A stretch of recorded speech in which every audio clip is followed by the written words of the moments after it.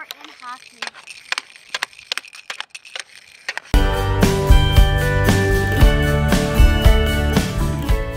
Hey, welcome back to the P&N Project Channel. Today we're moving from snakes and going to Hockey. hockey. So practicing stick handling, you can buy some expensive uh, tools uh, from CCM. They're between 100 $120 for stick handling. We're going to show you how to do these on the cheap. So you want my sticks there for a minute, P-Man Sam? Sure. We're going to end up making these guys here. We're going to show you how to make them and uh, what we do with them. So here we go. Uh, as a first step, uh, what you need to do to make some of these, you need to go to the ice arena and you need to find some broken hockey sticks. You play hockey, you're always able to find broken hockey sticks. So um, I always tell people on my team, if you see broken hockey sticks, give them to me. So we're gonna go here now and show you how to uh, make these these guys. Next step for making our stick handling obstacles are uh, to take our broken stick. You can pass that in your P-Man Sam. There you go, bud. And what we're gonna do is we're just gonna make a little bit of a mark here. It doesn't have to be so precise, just so we know we're, uh, we're roughly the same size. So I'm just gonna come in here and make a little score like that.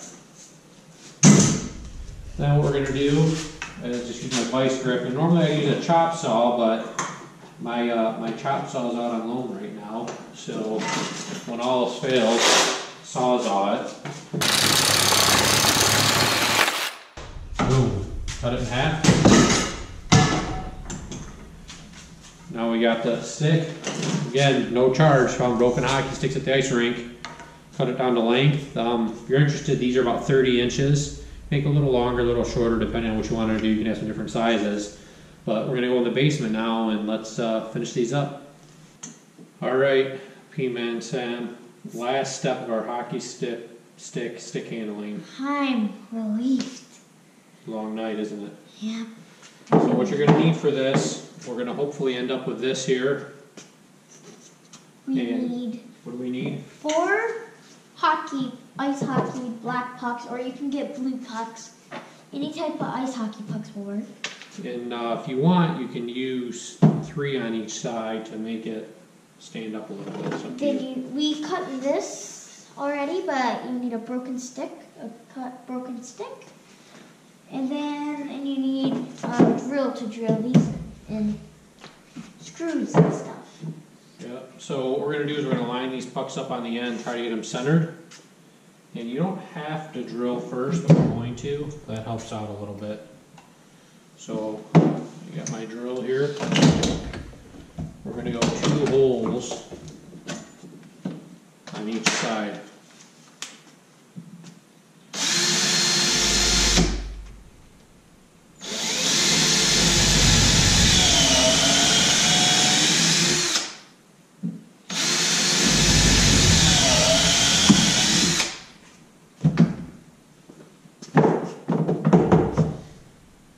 If you wanna try to not move these like I just did, to keep the holes lined up, but you're mainly going through the wood. So, or carbon, that's fine. These are two and a half inch drywall screws. So, just using our drill here.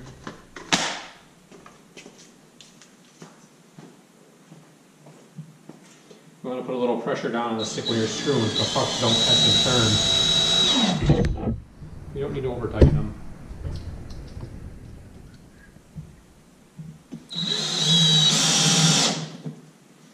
And now we'll uh, go for the other side. Like I said, you can buy these for about a hundred bucks. Or you can look for some broken hockey sticks, and usually you can even find some hockey pucks around the ice arena and make them yourself.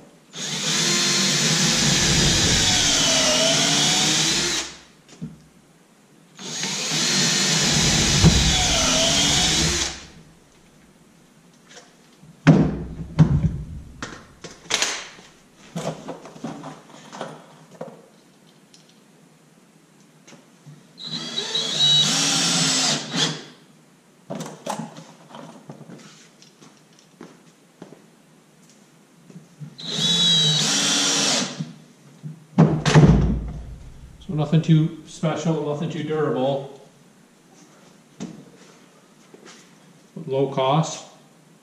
And it's a uh, good way to practice your sick sticking on beam handstand. It's good to be used them all the time at practice. Oh yeah. Alright, everybody have a good day. Don't forget to uh, thumbs up and subscribe. Got some tractor videos coming. Leave a comment down below. Yeah, leave a comment down below.